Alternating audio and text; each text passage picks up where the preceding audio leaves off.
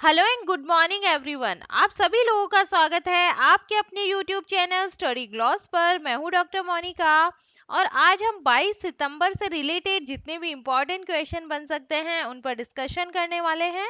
ये हमारा Telegram channel है, यहाँ पर आपको क्विज अवेलेबल हो जाएगी और इस लेक्चर की पीडीएफ भी आपको यहाँ मिल जाएगी। ये आपके लिए आज का मोटिवेशनल कॉट है। ज़िंदगी एक बार मिलती है, बिल्कुल गलत है। सिर्फ़ मौत एक बार मिलती है, ज़िंदगी हर रोज मिलती है। तो इसी मोटिवेशनल कॉड के साथ में हम स्टार्ट करते हैं आज का सेशन फ़र्स्ट क्वेश्चन है which has become the first clean Sujal Pradesh of India Bharat का पहला स्वच्छ सूजल प्रदेश कौन सा बना है तो इसका करेक्ट आंसर होगा ये बना है Andaman and Nicobar island D इसका करेक्ट आंसर है केंद्रीय जल शक्ति मंत्री गजेंद्र सिंह शेखावत ने अंडमान और निकोबार द्वीप समूह को भारत का पहला स्वच्छ सुजल प्रदेश घोषित किया है और इस उपलब्धि के साथ में ही अंडमान और निकोबार द्वीप समूह के सभी गाँवों को हर घर जल प्रमाणीकरण प्राप्त हुआ है और उन्हें खुले में शौच मुक्त के रूप में सत्यापित किया गया है। केंद्र शासित प्रदेश ने सभी 300 अड़सठ विद्यालयों, पाँच आंगनवाड़ी केंद्रों और दो में सार्वजनिक संस्थानों को पाइप से पानी सप्लाई करवाई है। अब अंडमान और निकोबार द्वीप समूह, गोवा और तेलंगाना के बाद गाँवों में नल के पानी की सप्लाई में 100 परसेंट कवरेज हासिल करने वाला देश का तीसरा केंद्र शासित प्रदेश ये बन गया है। अंडमान एंड निकोबार आयरलैंड की हम बात करें तो इसकी जो स्थापना है, ये एक नवंबर 1956 को हुई थी और इसकी जो कैपिटल है, यह है पोर्ट ब्लेयर और लेफ्टिनेंट गवर्नर यहाँ के हैं Devendra Kumar Joshi. Top five India first की हम बात करें where has India first and Asia's largest liquid mirror telescope been installed तो ये लगा है उत्तराखंड के अंदर which has become the first metro city of India to get biodiversity register तो जो ये है, कोलकाता वेस्ट बंगाल है, which has become the first state in India to form a drone force to rescue the people trapped in the disaster. तो ये जो है, जो ड्रोन फोर्स है, ये जो है उत्तराखंड के अंदर लगा है which has become India's first carbon neutral panchayat तो ये बनी है पल्ली, जम्मू एंड कश्मीर की panchayat where has India's first steel road been build तो ये बनी है सूरत, गुजरात के अंदर. सेकेंड नंबर क्वेश्चन है, who has won the football tournament Durand Cup 2022 title football tournament Durand Cup 2022 का जो टाइटल है, ये किसने जीता है? तो इसका करेक्ट आंसर होगा, ये जो है बेंगलुरु फुटबॉल क्लब ने जीता है 20 का करेक्ट आंसर है। डूरन कप 2022 का जो टाइटल है, ये बेंगलुरु एफसी की जो टीम ने जीता है और फाइनल में बेंगलुरु ने मुंबई सिटी एफसी को दो एक से हराकर ये जो टूर्नामेंट है, ये अपने नाम किया है। बेंगलुरु की टीम पहली बार ये जो टाइटल है, ये जीतने में कामयाब रही है। डूरन कप भारत में तीन प्रमुख फुटबॉल टूर्नामेंटों में से एक है और अन्य दो इंडियन सुपर लीग और सुपर कप है। इसका जो वेन्यू है, ये इंडिया के अंदर हुआ था और इस बार जो एडिशन है, ये एक एडिशन था। फुटबॉल रिलेटेड क्वेश्चंस को हम रिवाइज करें। Where will the football tournament FIFA World Cup 2026 be held? तो ये होने वाले हैं अमेरिका, मैक्सिको और कनाडा के अंदर।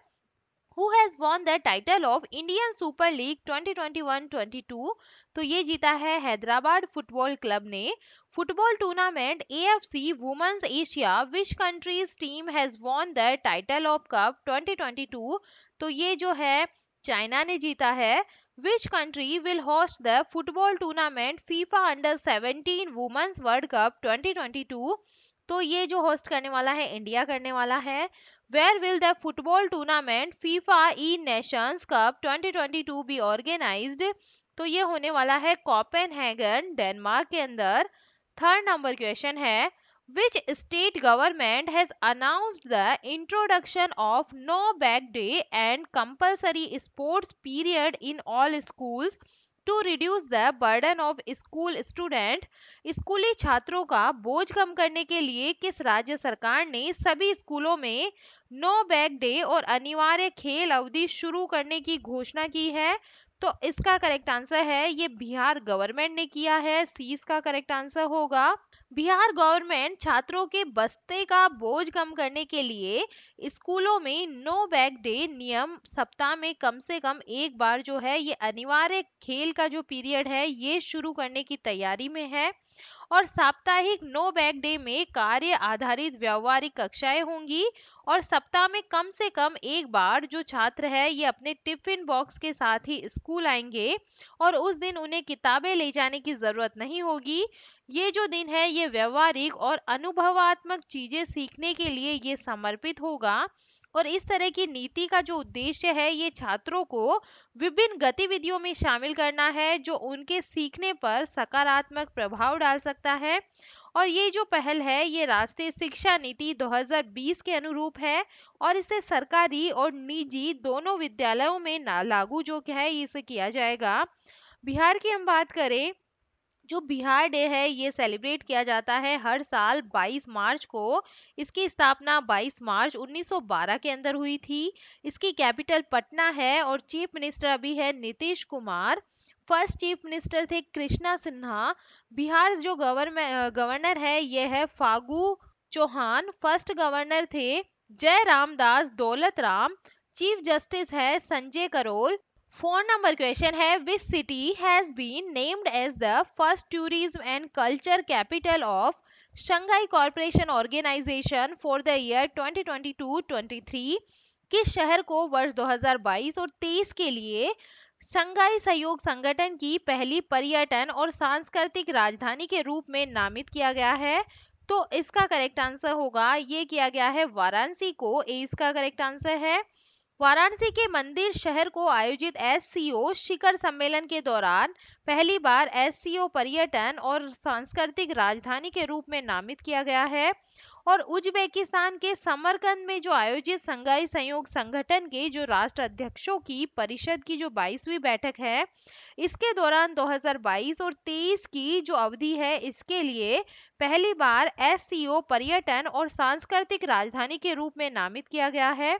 और ये भारत और अन्य एस सदस्य देशों के बीच पर्यटन, सांस्कृतिक और मानवीय आदान प्रदान को बढ़ावा देगा। इस रूपरेखा के तहत 2022 और 23 में वाराणसी में विभिन्न कार्यक्रमों का आयोजन किया जाएगा। एस पर्यटन और सांस्कृतिक राजधानी के नामांकन के लिए नियमों को 2021 में दुशांबे एस शिखर सम्मेलन में अपनाया गया है। एस की बात करें शंघाई कॉरपोरेशन ऑर्गेनाइजेशन की तो इसकी स्थापना 2001 के अंदर हुई थी। इसका जो हेडक्वार्टर है, ये बीजिंग चाइना के अंदर है। और सेक्रेटरी जनरल है बलादमीर नॉर्वो। और जो सेक्रेटरी जनरल है, ये है झांग में जो कंट्री मेंबर्स है, ये है India, Pakistan, China, Russia, Kazakhstan, Uzbekistan, Kyrgyzstan और तजाकिस्तान और ईरान है। फाइव नंबर क्वेश्चन है. According to the report release by the law ministry which state has topped in India in the number of pending cases in fast track court कानून मंत्रालय के द्वारा जारी report के अनुसार फास्ट ट्रैक अदालतों में सर्वाधिक लंबित मुकदमों की संख्या में कौन सा जो राज्य है, ये भारत में शीर्ष स्थान पे रहा है? तो इसका करेक्ट आंसर होगा उत्तर प्रदेश जो है, इस पे टॉप पे रहा है, ए इसका करेक्ट आंसर है। देश भर की फास्ट ट्रैक अदालतों में महिलाओं, बच्चों और वरिष्ठ नागरिकों के खिलाफ जघन्य अपराधों के लंबित 13.81 लाख मामलों में उत्तर प्रदेश की जो हिस्सेदारी है, ये 70 परसेंट से अधिक है। उच्च न्यायालयों के मुख्य न्यायाधीशों के साथ साझा किए गए विश्लेषण के आधार पर जारी रिपोर्ट के मुताबिक अट्ठासी हज़ार मासिक नए मामले दर्ज किए गए हैं। वही लगभग पैंतीस हज़ार मामलों का निपटान किया गया है, जिससे साफ़ दिख रहा है कि मामलों में लगातार वृद्धि हो रही है।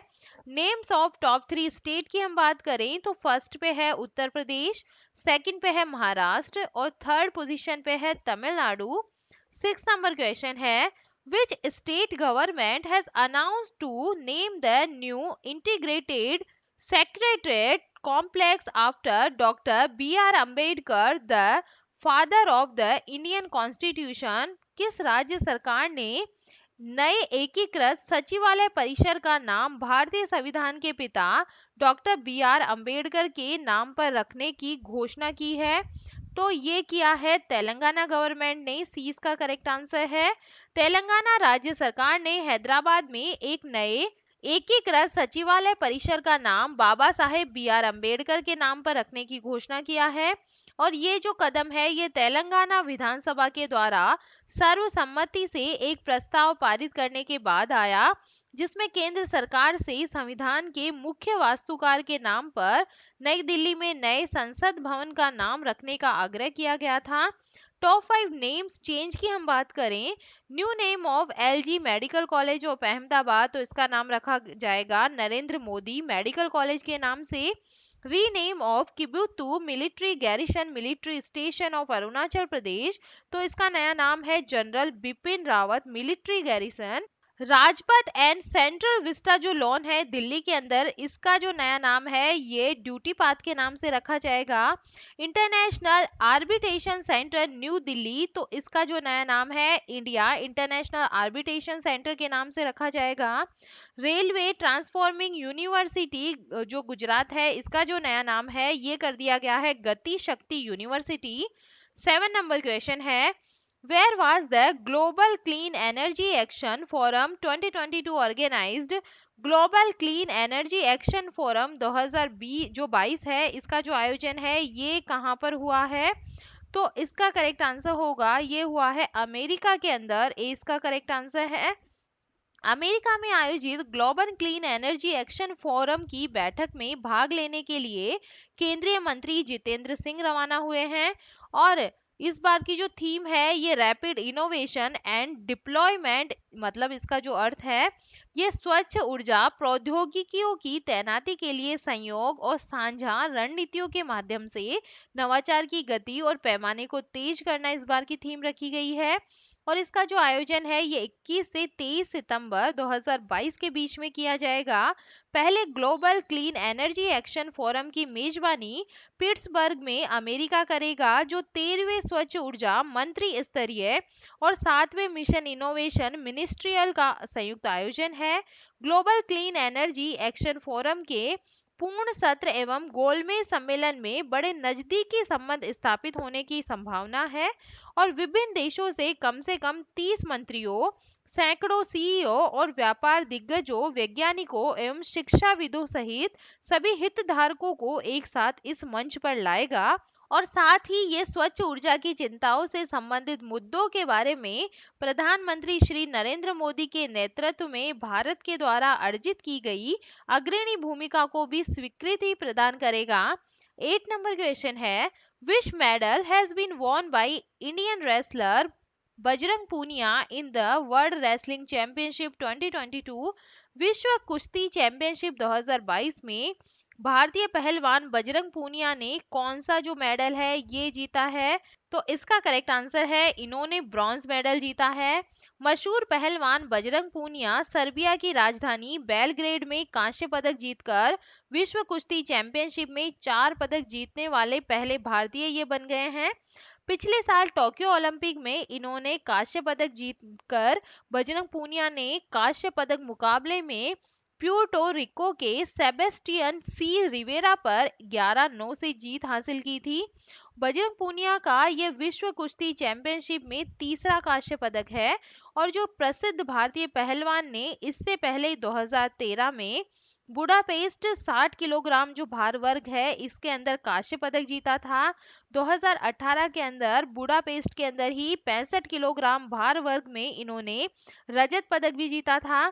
और 2019 के अंदर, नूर सुल्तान के अंदर पैंसठ किलोग्राम भार वर्ग के अंदर इन्होंने कांस्य पदक जीता है। नाइन नंबर क्वेश्चन है, film actor Manoj Bajpayee has release a book title Muskurate Chand Lamhe और कुछ खामोशियाँ नामक पुस्तक का विमोचन किया है। और इस पुस्तक को किसने लिखा है? तो इसका करेक्ट आंसर होगा, इसको जीवेश नंदन ने लिखा है। बीस का करेक्ट आंसर है। नई दिल्ली में एक समारोह में जाने माने अभिनेता मनोज बाजपेयी ने सूचना और प्रसारण सचिव अपूर्व चंद्रा की उपस्थिति में मुस्कुराते चंद लम्हे और कुछ खामोशियाँ नामक पुस्तक प्रकाशित की है। पुस्तक के अंदर विभिन्न प्रकार की कविताओं की पेशकश की गई है। इसके लेखक जीवेश नंदन है और श्री अपूर्व चंद्रा ने उस समय अपनी राय व्यक्त की और टिप्पणी की कि पुस्तक हास्य और दर्शन पर केंद्रित है। टॉप फाइव बुक्स को हम रिवाइज करें। Business of sports the winning formula for success जो बुक है, ये विनीत कर्णिक के द्वारा लिखी गई है। How China sees India and the world जो बुक है, श्याम सरन के द्वारा लिखी गई है। Leaders politician citizen 50 figure who influenced India's politics तो ये राशिद किडवाई के द्वारा लिखी गई है। Listen to your heart the London adventure जो बुक है, ये रस्किन बॉन्ड के द्वारा लिखी गई है। ए प्लेस कॉल्ड होम जो बुक है, ये प्रीति शिनॉय के द्वारा लिखी गई है। टेन नंबर क्वेश्चन है। Who has become the new MD and CEO of S CSB bank limited CSB bank limited के नए एमडी और जो सीईओ है, ये कौन बने हैं? तो इसका करेक्ट आंसर होगा, ये बने हैं मृलय मंडल बने हैं। 20 का करेक्ट आंसर है। भारतीय रिज़र्व बैंक की मंजूरी के बाद प्रलय मंडल को तीन साल के लिए सीएसबी बैंक का नियमित प्रबंध निदेशक और मुख्य कार्यपालक अधिकारी नियुक्त किया गया है। मंडल इससे पहले बैंक के अंतरिम एमडी और सीईओ थे बैंक के निदेशक मंडल ने उन्हें 15 सितंबर 2022 से तीन साल की अवधि के इस पद पर नियुक्त किया था। Top five MD and CEO को हम रिवाइज करें। MD and CEO of technology company Infosys तो ये बने हैं Salil Parekh, new MD and CEO of Larsen and turbo limited तो इसके जो सीईओ एंड एमडी है, ये एस एन सुब्रमण्यम बने हैं। Aviation company Air India new MD and CEO तो ये कैंपबेल विल्सन बने हैं। New MD and CEO of Maruti Suzuki India तो ये बने हैं Hisashi Takeuchi new MD and CEO of national assets reconstruction company limited तो ये बने हैं नटराजन सुंदर। चलिए कल के जो एमसीक्यू है, उन्हें हम रिवाइज कर लेते हैं। फ़र्स्ट क्वेश्चन है पाँच लाख करोड़ मार्केट कैप पार करने वाला भारत का तीसरा बैंक कौन सा बन गया है? तो ये बन गया है स्टेट बैंक ऑफ़ इंडिया। 20 का करेक्ट आंसर होगा। सेकंड नंबर क्वेश्चन है, भारत के जो नए वाणिज्य सचिव है, ये कौन बने हैं? तो इसका करेक्ट आंसर होगा, सुनील बर्थवाल बने हैं। इसका करेक्ट आंसर है। थर्ड नंबर क्वेश्चन है, क्रिप्टो फर्म चैनल एसिस द्वारा जारी ग्लोबल क्रिप्टो एडॉप्शन इंडेक्स 2022 में भारत किस स्थान पे रहा है? तो इसका करेक्ट आंसर है, ये फोर्थ पोजीशन पे रहा है। फोर नंबर क्वेश्चन है, किस भारतीय महिला वैज्ञानिक को फ्रांस के सर्वोच्च नागरिक पुरस्कार knight of the legion of honour से सम्मानित किया गया है? तो ये सम्मान मिला है डॉक्टर स्वाति पिरामिल को इसका करेक्ट आंसर है। फाइव नंबर क्वेश्चन है, भारत के छिहत्तरवे शतरंज ग्रैंड मास्टर कौन बन गए हैं? तो इसका करेक्ट आंसर होगा, ये बन गए हैं प्रणव आनंद बीस का करेक्ट आंसर है। सिक्स नंबर क्वेश्चन है। मुंबई में आयोजित वित्तीय स्थिरता और विकास परिषद की 26वीं बैठक की अध्यक्षता किसने की है? तो इसका करेक्ट आंसर होगा निर्मला सीतारमन के द्वारा इसकी अध्यक्षता की गई है। सेवन नंबर क्वेश्चन है। अहमदाबाद के एलजी मेडिकल कॉलेज का नाम बदलकर नया नाम क्या हो गया है? तो इसका नया नाम हो गया है नरेंद्र मोदी मेडिकल कॉलेज के नाम से। एट नंबर क्वेश्चन है। किस संस्थान के शोधकर्ताओं ने सोने के नैनो कणों पर लेपित बैक्टीरिया के द्वारा स्त्रावित गोलाकार पुट्टिकाओं का उपयोग करके टीबी के खिलाफ नई वैक्सीन विकसित की है। तो इसका करेक्ट आंसर होगा, Indian institute of science Bengaluru के द्वारा इसे डेवलप किया गया है। नाइन नंबर क्वेश्चन है, किस राज्य सरकार ने सरकारी नौकरियों में एस सी एस टी पिछड़ा वर्ग, ओबीसी और आर्थिक रूप से कमज़ोर वर्ग के सदस्यों के लिए 77 परसेंट आरक्षण देने को प्रस्ताव को जो है अपनी मंजूरी दी है तो ये झारखंड गवर्नमेंट ने दी है। टेन नंबर क्वेश्चन है, फ़सल सुधार के लिए किस संस्थान नए राष्ट्रीय स्तर पर कृतज्ञ हैक्टोन 3.0 का आयोजन किया है? तो इसका करेक्ट आंसर होगा Indian council of agriculture research के द्वारा इसका आयोजन किया गया था। और ये था कल का स्टडी ग्लॉस क्वेश्चन भारत में टीबी को 2025 तक खत्म करने के लिए जो प्रधानमंत्री टीबी मुक्त भारत अभियान है, इसकी शुरुआत किसने की है? तो इसकी शुरुआत की है राष्ट्रपति द्रौपदी मुर्मू के द्वारा सी इसका करेक्ट आंसर होगा। और यह है आप लोगों के लिए आज का स्टडी ग्लॉस क्वेश्चन युवाओं की शिक्षा और आध्यात्मिक गुणों में वृद्धि करने के लिए दुनिया का जो पहला संस्कार केंद्र है, ये कहाँ पर खोला जाएगा? तो इसका आंसर मुझे कमेंट सेक्शन में दीजिएगा। ये हमारा टेलीग्राम चैनल है। यहाँ पर आपको सारे क्वेश्चन क्विज के फॉर्मेट में अवेलेबल हो जाएँगे। यहाँ जाकर आप उनकी ज़्यादा से ज़्यादा प्रैक्टिस कर सकते हैं। आई होप आपको सेशन पसंद आ रहे होंगे। अगर पसंद आ रहे हैं तो इसे लाइक कीजिए। अपने दोस्तों के साथ में शेयर कीजिएगा। तो चलिए मिलते हैं हम एक नए सेशन के साथ में।